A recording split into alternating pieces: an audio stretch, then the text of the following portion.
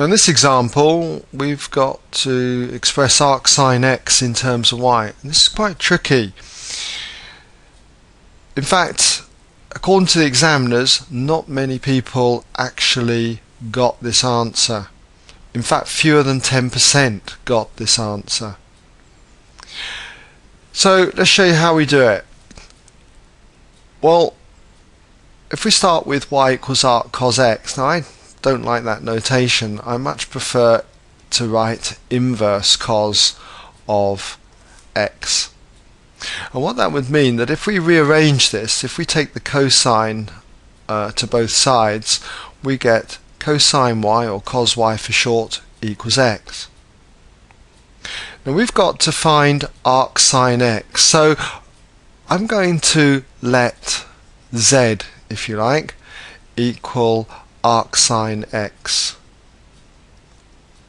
So we've got to find this value, the value of z.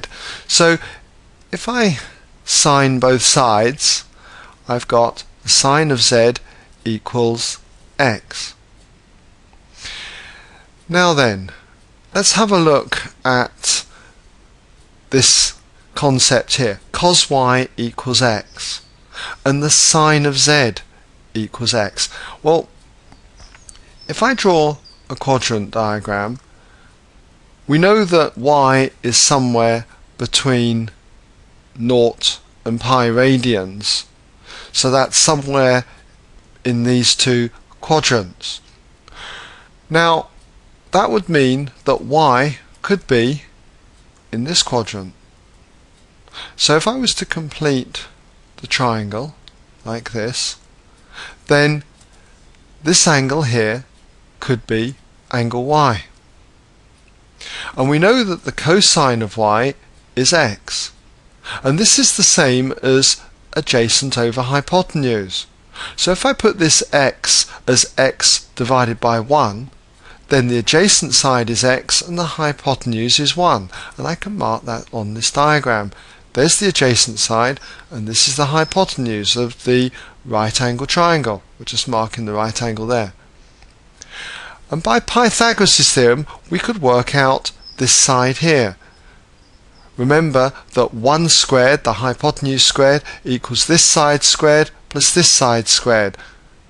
So this side squared becomes 1 squared minus x squared and then we'd need to square root that answer to get this side. So this side is, by Pythagoras' theorem, the square root of 1 minus x squared. Now, we're told that the sine of z equals x. So, where could z be? Well, when you look at this diagram here, you can see that this angle up here is really z because sine compares opposite over hypotenuse. And if I mark this in as x divided by 1, then the opposite side would be x and the hypotenuse would be 1. And that's what you get if you place z here. Opposite x over hypotenuse 1. Sine of z is x over 1, x. So what is z? Well, we can see that z's an angle, obviously. But in terms of y, what we should know is that z plus angle y plus 90 degrees, but we must be working radians, okay, so we'll call that pi upon 2. z plus y plus pi upon 2, the three angles of the triangle here make up the equivalent in degrees of 180 degrees, which in radians is pi. So if I rearrange this for z, we have that z equals pi, and if I subtract these two terms from both sides, we've got pi minus pi upon 2 minus y. So therefore, z is equal to, well pi take away pi upon 2 is pi upon 2, and then we have minus y. Well, we wanted to know what arc sine x was equal to in terms of y. Well, it's equal to z, and z is equal to this, so therefore we can wind this up by saying arc sine x is equal to pi upon 2 minus y. And there you have it.